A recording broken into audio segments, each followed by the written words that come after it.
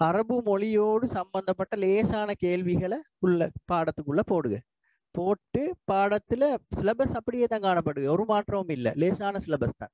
உங்களுக்கு ஆசிரியர் கையினுள்ளையும் சிலபஸை பார்த்துக்கொள்ள மேலும் ஒரு மாற்றமும் இல்லை. என்றாலும் பேப்பருக்குள்ள ஒரு கேள்வி அல்லது ரெண்டு கேள்விக்குள்ள அரபு கலந்த கேள்விகளை போடுங்க. அப்ப அது எங்களுக்கு உண்மையிலே அதுக்கு நாங்க கொஞ்சம் மாறிக்கொள்ளணும். உண்மையை சொல்லுவேன்னா அரபு மொழியோடு சாதாரணமான அந்த அந்த நாலேஜும் எங்க கிடைக்கும் போதுதான் இந்த பாடத்தை சரியாக விளங்கிடும் அப்போ நான் இப்போ உங்களுக்கு இந்த இந்த பாடம் புதுசாக எக்ஸாம் பேப்பர் எக்ஸாம் பேப்பர் வரும் இன்ஷால்லா. இந்த வருஷம் இந்த கோவிட் பிரச்சனை இருந்ததால இருக்கிறதால கொஞ்சம் லேட் ஆகும் சில நேரம். ஆனாலும் எப்படியோ எக்ஸாம் பேப்பர் வர சொல்ல ஒரு பரீட்சைக்கான இலக்கிய பாடங்களுக்கான ஒரு மாடல் எங்களுக்கு தரப்பட்டீங்க. அப்போ அது அரபு இலக்கியத்துக்கும் தந்தீங்க. இங்கிலீஷ் லிட்ரேச்சர் ஆங்கில இலக்கியத்துக்கும் தமிழ் இலக்கியத்துக்கும் எல்லாத்துக்கும் பொதுவான ஒரு புத்தகத்தை பரிச்சை திணைக்களம் வெளியிட்டீங்க. அப்ப அந்த புத்தகத்துல இக்கு அந்த ஒழுங்க நீங்க உங்களுக்கு கேளும் அரபு இலக்கிய நயம் அரபி சாகித்ய ரசஸ்வாதிய அப்ரிசியேஷன் ஆஃப் அரபிக் லிட்ரேசி டெக்ஸ்ட்னு போட்டு இப்போ உங்களுக்கு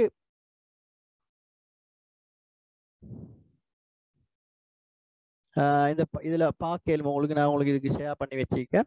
இப்போ இதுல பாருங்க உங்களுக்கு நான் தமிழ் மொழி இலக்கியத்தை காட்டியேன். இவ்வினாத்தால் ஆஹ் ஒன்று வினாத்தால் ரெண்டு. என இரு பத்திரங்களை கொண்டது. முன் இவ்வளவு நாளும் வந்த ஒரு பேப்பர்ல தான். எம்சிக்யூ ஒன்று காணப்படல.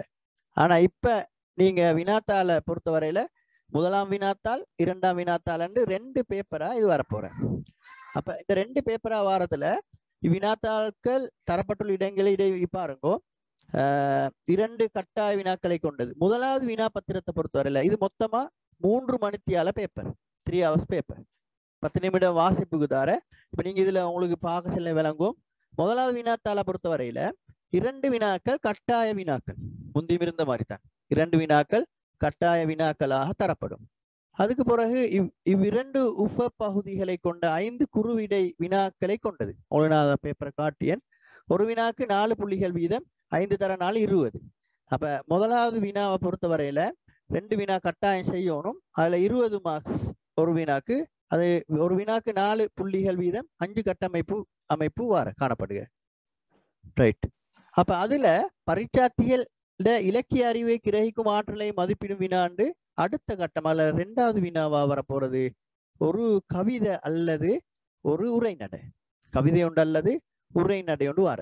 மொத்தம் அப்ப அதுக்கு அந்த அதுல உங்களுக்கு தெரியும் அதுல இலக்கிய அதுல ஏதாவது ஒன்று செஞ்சா போதும். அப்ப கிட்டத்தட்ட அதுக்கு இருபது மார்க்ஸ் இதுக்கு இருபது மார்க்ஸ் மொத்தமா வர வர செல்லை வார முதலாம் வினா ஒன்றும் கட்டாய வினா ரெண்டு பகுதிகளை கொண்டது. அதுக்கு பிறகு ரெண்டாவது வினா எல்லாம் சேர்த்து நாற்பது ரெண்டாவது வினா பத்திரம் பேப்பர் டூ ரெண்டு வினா பேப்பர் வார இதுல ஐந்து வினாக்களை கொண்டது. இல்ல முதலாம் மற்றும் இரண்டாம் வினாக்கள் இருந்து ஒரு வினாவையும் ஒரு வினா கட்டாயம் செய்யணும். அதுக்கு பிறகு முதலாவது இர- இரண்டாவது ரெண்டு வினால ஒன்றை செய்யணும். மூணு நாலு அஞ்சு ஆகிய வினாக்கள் இருந்து இரண்டு வினாக்களையும் தெரிவு செய்து மூன்று வினாக்களுக்கு விடை அளிக்கணும். அப்ப உங்களது விடைகள் தரப்பட்ட விடை புத்தகத்தில் எழுத வேண்டும் என்று சொல்லியும் அந்த இதுல போட்டி இதை அவங்களுக்கு வாசிச்சு காட்டு. ஆரம்பம் அந்த இந்த வருஷம் தான் இந்த இந்த புதிய இந்த பேப்பர் கொண்டு வர போறது. இவ்வளோ நாள் நாளும் இந்த பேப்பரை விட கொஞ்சம் வித்தியாசம். இதை பாருங்க உங்களுக்கு. இதில் இதுல உங்களுக்கு விலகி கொள்ளையிலும் இது நான் உங்களுக்கு காட்டுக. இந்த இதுக்கு வினா உண்டு.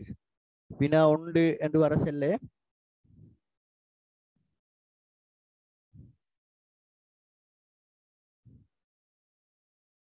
இதுக்கு வினா உண்டு. இருபது புள்ளிகள்.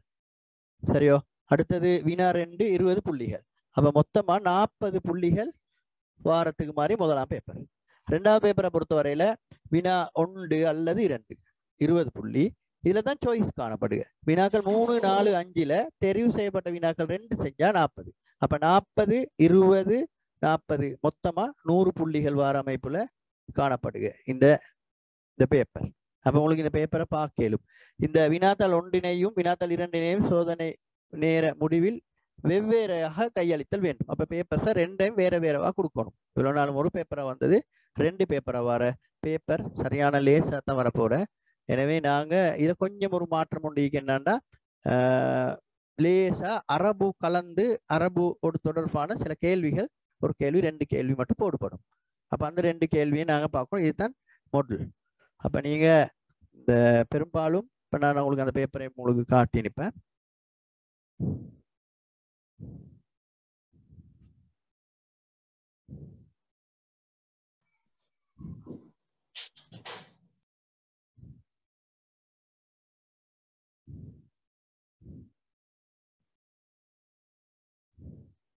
இதுதான் வினாபத்திரம் இப்ப வினா பத்திரத்துல வினாத்தாள் ஒன்றிற்கான விடைகள் இவ்வினாத்திலே எழுதுக. வினாத்தாள் இரண்டிற்கான விடைகளை தரப்பட்ட விடை புத்தகத்திலே எழுதுக. வினாத்தாள் ஒன்று மற்றும் இரண்டினை சோதனைக்கான நேரம் முடிவடைந்த பின்னர் வெவ்வேறாக படைக்க. இப்ப முதலாவது வினா பார்ப்போம் அரபு இலக்கியத்தில் அவங்களுக்கு இப்ப பாடத்தை சிலபஸ் தரும் மாற்றமும் இல்லை. சின்ன சின்ன கேள்விகள்ல லேசான கேள்விகள் தான். என்றாலும் கொஞ்சம் அரபு கலந்து எழுத வேண்டிய அதனால நாங்க அந்த தெளிவோட எங்களோட கைடு உங்களுக்கு உங்களுக்கு இப்ப டெக்ஸ்ட் புக் இல்லாட்டியும் புக் புத்தகங்கள் வெளியாகப்பட்டீங்க. அவங்க நல்லா புத்தகங்கள் எழுதி அந்த புத்தகத்தை உங்களுக்கு படிச்சு அரபு இலக்கியத்தை இன்னும் அழகா விளங்கி கொள்ளையிலும். அது தவிர உங்களுக்கு எப்படியும் ஆசிரியர் கைநூல் ஒன்று என்னையிட வெளியிட்டீங்க? ஆசிரியர் கைநூல் ரெண்டு. அப்ப அந்த ஆசிரியர் கைநூல்ல ரெண்டையும் எடுத்து அதையும் வச்சு இந்த பத்தாம் ஆண்டு பதினோராம் ஆண்டுக்குன்னு ரெண்டீங்க. அதுலயும் உங்களுக்கு நல்ல தெளிவா பார்த்து கொள்ளையிலும். அதே நேரம் இன்னொரு விஷயம் நீங்க அதுக்குள்ளுக்கால வர செல்ல இன்ஷா இது மாதிரி நாங்கள் கிளாஸுகள் வச்சு உங்களுக்கு முக்கியமான அந்த பகுதியை அரபு வினாக்கள்ண்டா அந்த அரபு வினாக்களுக்கு எப்படி அரபு வினாக்களுக்கு விடை அளிக்கணும் அது சம்பந்தமான தெளிவெல்லாம் இன்ஷால்லாம் நாங்கள் தாரோம். இப்போக்கி நாங்கள் முதலாவது சில ஆட்கள் பிள்ளைகளுக்கு சில நேரம் இது சம்பந்தமான இந்த புத் பேப்பர்களில் எப்படி வரும் அதுகள் பற்றியும் தெளிவும் இல்லாமல் இருக்கையிலும் அதை வச்சு தான் நாங்கள் உங்களுக்கு சின்ன ஒரு இந்த பேப்பரை பற்றி ஒரு அறிமுகம் ஒன்று தந்து கொண்டு போகிறேன் எல்லா வினாக்களும் விடை முதலாவது எம்சிக்யூ மாதிரி தான். ஒரு மெத்தட்டுக்கு தான் இதை அமைச்சிங்க இப்போ உங்களுக்கு பார்க்கலும் அரபு இலக்கியத்தில் இரண்டு உரைநடை வகைகளை குறிப்பிடுங்க இந்த அரபு இலக்கியத்தில் ஒரு சிறப்பீக மூணு மொழியிலையும் எழுதியல் இப்போ நாங்கள் மார்க்கிங் பைத்தாலும் இங்கிலீஷ்லேயும் திருத்துக அரபிக்லேயும் திருத்துக சிங்களத்திலேயும் திருத்துக. அப்போ அர அரபு மொழியிலையும் வார தமிழ் மொழியிலையும் வார. இப்போ இது ஒரு சலுகையாக காணப்படுது இப்போ எந்த லாங்குவேஜ் எழுதுகிறார்களுக்கும் இந்த அரபிக் லிட்டப் எடுக்கணும் அரபிக் லிட்ரேச்சர் எடுத்து அதனூடாக எல்லா லாங்குவேஜில் அவங்களுக்கு எந்த லாங்குவேஜ் நல்லா இயலுமோ அவங்க அந்த லாங்குவேஜில் இதுக்கான விடைகள் அளிச்சிடும் அதனால் கேள்வி பேப்பர்லையும் உங்களுக்கு தெரியும் மூணு லாங்குவேஜ்லையும் வர. அப்போ இப்போ உதாரணமாக உஸ்குர் நவேன் மினன் நஸ்ர் ஃபில் அதபுல் அரபி. இப்போ இப்படி ஒரு கேள்வி வந்தீங்க அரபு இலக்கியத்து இரண்டு உரை நடைவாகைகள். ஆனால் இந்த மெத்தட்டுக்கு தான் கேள்விகள் வரப்போகிற இப்போ முதலாம் பகுதியில் ஏ பி மறு அல்ல ரெண்டா அதுக்குள்ள ஒரு ரெண்டாவது கேள்வி உண்டிக்க மறு அதுலேயும் ஏ அதில் வந்திக்க கொஞ்சம் பின்வரும் சொற்றொழுக்கு அல் குர்வான் குறிப்பிடப்பட்டுள்ள அரும் பதங்களை எழுதுக. இப்போ நாங்கள் சூறாக்கள் படிச்சு அரபு இலக்கியத்தில். நிறைய சூறாக்கள் படிச்ச குல் சூறால தொடங்கி குலாது பிரபின்னாஸ்ல தொடங்கி வரக்கூடிய இது அம்மையில வரக்கூடிய சின்ன சூறாக்கள் காணப்படுது அடுத்தது இப்போ இந்த பதினோராம் ஆண்டு கண்டு செலக்டட் சில சூறாக்கள் காணப்படுது சூரத்து அப்பசேல முக்கியமான முதலாவது கொஞ்சம் ஆயத்து. அதே மாதிரி சூரத்துல் முத்தசிரிக்கு அப்ப சூரத்துல் இஸ்ரால சில ஆயத்து.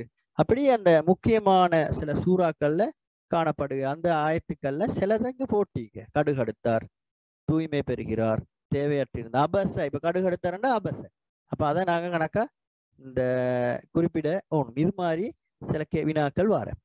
முதலாவதும் நாங்க இந்த ஜாகிலிய காலத்துல இரண்டு செய்யுள் வகைகளை குறிப்பிடுகிறோம். அப்ப அங்க காணப்பட்ட கவிதை இலக்கியம் உரைநடை இலக்கியம் அதோடு தொடர்பான ஜாகிலிய காலத்தில் இருந்த இந்த இலக்கியங்களை நாங்கள் குறிப்பிடுவோம். அப்படி இப்படியான படித்து கொண்டிருக்க விஷயங்களே தான் வரப்போற. அடுத்து பாருங்க அல் குர்வானில் குறிப்பிடப்பட்டுள்ள பின்வரும் அரும் பதங்களை விளக்குக. இதே தான் அப்ப நாங்க ஏற்கனவே பார்த்தது இது மாதிரி தான் இப்ப கபிர் வைரு யசீர். அப்ப இதுகளெல்லாம் நாங்க சூறா படிச்சதுல வரக்கூடிய விஷயங்கள். கொஞ்சம் ஒரு மேலோட்டமா சாதாரணமா அதை கொஞ்சம் விளங்கின பிள்ளைகளுக்கு இது பெரிய விஷயம் உண்டல்ல அடுத்தது பாருங்க அதுல பி பி பியில இந்த பகுதியில நாங்க இப்ப அதிலே தான் முதலா கேள்வி தான். இந்த கேள்வியில ஹதீஸ் ஒன்று வந்திக்க மசலுல்லதீன யுஅல்லி முன்னாச வயன்ஷா நப்சஹு கமசலில் ஃபத்தீல துதி உண்டாச வத்துஹ்ரிகு நப்சஹு இந்த இப்போ இதில் இந்த ஹதீஸில் கையாளப்பட்டுள்ள ஓமானம் ஓமேயம் பொதுத்தன்மை. இந்த விஷயங்களை கேள்வியா கேட்டீங்க. இப்ப இந்த மெத்தட்டுக்கு தான் வரப்போகிறோம் இந்த ஹதீஸில் கையாளப்பட்டுள்ள உவமேயம் யாது? நான் உங்களுக்கு இதை படிச்சு தரதல்ல உங்களுக்கு இந்த பேப்பரை அறிமுகப்படுத்த வேலையை தானே செஞ்சு கொண்டிருப்பேன் அதுல வர நாலாவது வினா அதுல அஞ்சாவது வினா முதலாம் பகுதியில. அதுல நாலாவது வினால உங்களுக்கு தெரியும் இந்த வந்திக்கு மெத்தட்டுக்கு துவா உண்டு வந்திக்கு அக்குமிலு துவா அல்லாத்தி அல்ல அல்லாஹும் மத்தையும் அனாத்தாமினி அந்த துவாவை பூர்ணப்படுத்தணும். அப்புறம் இந்த இந்த துவா ஓதப்படும் சந்தர்ப்பத்தை குறிப்பிடணும். அடுத்தது பாருங்க அரபு செய்யுள்ள தமிழ் தமிழில் எழுதுக. அப்ப இங்க அரபு இதொன்று வந்திக்கும். அரபு தமிழ்ல சூரியனும் சந்திரனும் சொல்லும் அஃப்லா கனைத்தும் இப்ப இதை அரபு தமிழ்ல எழுதணும். இப்போ இப்ப அரபு தமிழ்ல வந்திக்க அது அரபு மொழியில் எழுதணும். செய்யுளே அரபு. இன் தந்தீக ஆத்திகுல் வைத்துல்லாத்தி பில்லுகத்தில் அரபியா. அரபு தமிழ் இதை அரபு தமிழ் என்று சொல்லி ஒரு பாடமிக்க அதுல நாங்கள் படிச்சு அதை எந்த கவிதையிலும் இந்த செய்யுள் அடி காணப்படுகின்றது என்று ஒரு இதா கேட்டு இது முதலாவது வினா. இதெல்லாம் நாங்க முதலாம் பேப்பர்ல வரக்கூடிய ரெண்டு அப்ப முதலாவது வினா பொறுத்த வரையில உங்களுக்கு தெரியும் இருபது மார்க்ஸுக்கு ஐந்து நாள் இருபது. அஞ்சு பகுதிங்க அப்ப அப்ப அஞ்சு பகுதிக்கும் நாலு மார்க்ஸ் மாதிரி இருபது மார்க்ஸ் கிடைச்சு. அதுக்கு பிறகு தான் நாங்க பார்க்க இப்ப நாங்க படிச்சு கொண்டிருக்க கவிதை அல்லது நாங்க படிச்சு கொண்டிருக்க உரைநடை கதைகள். அப்ப அந்த கவி உரைநடைய இப்ப நாங்க படிச்சு கொண்டிருக்க அதே சப்ஜெக்ட் தான். ஒரு வித்தியாசம் இல்லை. ஜாத்த யௌமின் ஹரஜ ஆராபியுன் முத்தஜிஹன் இலா மக்கா லில் ஹஜ். அப்ப ஒரு நாட்டுப்புற அரபி உண்டு. ஒரு நாள் மக்காவை நோக்கி ஹஜ் பயணத்துக்காக சென்றார். இப்ப நீ இது இந்த இந்த சந்- இந்த கதை எல்- நிறைய படிச்ச பிள்ளைகளுக்கு தெரியும். அப்ப இந்த சப்ஜெக்டை படிச்ச பிள்ளைகளுக்கு தெரியும். அப்ப இந்த கதைய இந்த அரபுல போட்டிக்க. அப்ப நாங்க இப்ப என்ன செய்யணும்டா இந்த கவிதைகளுக்கு அரபுல நாங்க விடையெல்லாம் உங்களுக்கு இன்ஷால்லா எழுதி கேள்வியும் விடையும் தந்தா உங்களுக்கு தமிழ்ல அதையும் விளங்கப்படுத்தினா அப்ப உங்களுக்கு அதுல அந்த கேள்விக்கு விடைகள் ஏற்ப இன்ஷால்லா உங்களுக்கு எழுதக்கூடிய ஒரு அமைப்பு காணப்படுது. இப்ப நாங்க என்ன செய்யறோம்டா இப்ப பேசிக் ஒரு அரபிக் தேவைன்றதால எங்கட ஸ்கூல் கிளாஸ் பிள்ளைகளுக்கு அரபிக் சிறிய சின்ன ஒரு ஒரு த்ரீ மந்த் கோர்ஸ் ஒன்று மாதிரி சிக்ஸ் மந்த் கோர்ஸ் தான் போட்டு நாங்கள் த்ரீ மந்த் கோர்ஸ் இப்போ செஞ்சீங்க. அவங்களுக்கான பேசிக் அரபிக்கை கொடுக்குங்க. அப்போ அவங்களுக்கு என்ன தெரியும்டா சாதாரணமாக அரபு மொழியில் வரக்கூடிய சொற்கள் வினை சொற்கள் பெயர் சொற்கள் வரக்கூடிய விஷயங்கள் எல்லாத்தையும் நாங்கள் படித்து அதுக்குள்ளால வர செல்ல இதுகளை பார்க்க செல்ல உங்களுக்கு எந்த கவிதைன்னு டக்குன்னு விளங்கு அப்போ கேள்வி என்னத்தையும் கேள்வி எப்படியும் வாரன்றதை நாங்கள் படித்து கொடுத்தா இப்போ கேள்வியும் விடையும் தெரிய செல்ல நாங்கள் ஏற்கனவே ஒவ்வொரு கேள்வியும் எழு எடுத்து விடையும் எடுத்து கொடுக்க செல்ல. அதையும் படிச்சு பாடமாக்கி இந்த விஷயங்களையும் பார்த்து கொண்டோன்னே அரபும் ஓரளவு பேசிக் தெரியுமண்டா? அவங்களுக்கு இதுகளுக்கு வீட்டு எழுதியலும் மொத்தமா இதுக்கு வரக்கூடிய இப்படி கேள்வி வாரது மிச்சம் இல்ல. பத்து மார்க்ஸ் ஒரு கேள்வி ஒன்று வர உரை நடைக்கு கதைக்கு. அதே மாதிரி ஆஹ், இன்னொரு பத்து மார்க்ஸ் கேள்வி ஒன்று வர முதலாம் பேப்பர்லேயே தான் ஹிர்ரி ஹிர்ரி என்று வர ஒரு கவிதைக்கு வந்தீங்க இங்க உதாரணமா காட்டிக்க ஒரு கவிதை இது மாதிரி நாங்க மற்ற கவிதைகளுக்கும் இதே மெத்த மெத்தட் தான் கையாளப்படுது. அப்போ இந்த மெத்தட்ல அரபால வர செல்லே நாங்கள் அரபாலே விடையில் அமைச்சோம் அப்போ இப்போ உதாரணமா இப்போ இந்த இந்த கவிதையும் எல்லாருக்கும் பிரபலமான ஒரு கவிதை. தெரிஞ்ச ஒரு கவிதை. ஹிர்ரி ஹிர்ரி ஹஸ்னுஷார் வலஹு வஜுகுன் மிஸ்லன் நமீர். இப்போ இந்த இது ஒரு பூனையை பற்றி வரக்கூடிய எனது பூனை என்று வரக்கூடிய கவிதை. அப்போ இந்த இந்த கவிதைக்கு பொருத்தமான கேள்விகள் கொஞ்சம் வர. இந்த கேள்விகளை நாங்கள் அதுக்குரிய விடை அமைப்பை உங்களுக்கு தந்தால் அந்த இன்ஷால்லா அந்த கேட்ப உங்களுக்கு அந்த அமைப்பை ஒழுங்குபடுத்தி கொள்ள இயலும். அப்ப இதுதான் முதலாவது பேப்பர் அப்போ இப்போ நாங்கள் பார்க்க போகிறது இந்த இந்த இந்த பகுதி முதலாம் பேப்பர்ல அடுத்த பகுதியை நாங்கள் பார்க்க போகிறோம் இப்போ ரெண்டாவது பேப்பரை பார்க்கோம் இந்த ரைட் வரக்கத்து சானியா பேப்பர் டூ வினாத்தாள் ரெண்டு. இப்போ இது முதலாம் பேப்பர் அந்த ரெண்டு அந்த முதலாம் பேப்பருக்குள்ள வரக்கூடிய பகுதியில் இருபது மார்க்ஸ் இது மட்டும்தான் ரெண்டு கேள்வியா வரப்போகிற அதை கொஞ்சம் நான் கவனமாக ஊண்டி படிச்சு சிலதை எழுதி பாடமாக்கி அதுக்கு விடை அமைப்புகளையும் கேள்வியும் விடை அமைப்பையும் எடுத்து பா பார்த்தா அதுக்கு பிறகு அந்த கேள்விகள் விடை அழைச்சி கொள்ள அந்த பிரச்சனை அவங்களுக்கு கிளியர் அதுக்கு பிறகு வேற ஒன்றுமே மாற்றம் இல்லை. அரபு இலக்கிய பேப்பர் முந்தி இவ்வளோ நாளும் எழுதி கொண்டிருக்க பேப்பரே தான். அதில் ஒரு வித்தியாசமுமே இல்லை. அப்போ இப்போ ரெண்டாவது பேப்பர் ரெண்டு பே ஒரு பேப்பர் ரெண்டு இல்லாமல் ரெண்டு பேப்பரை உடைச்சிக்க.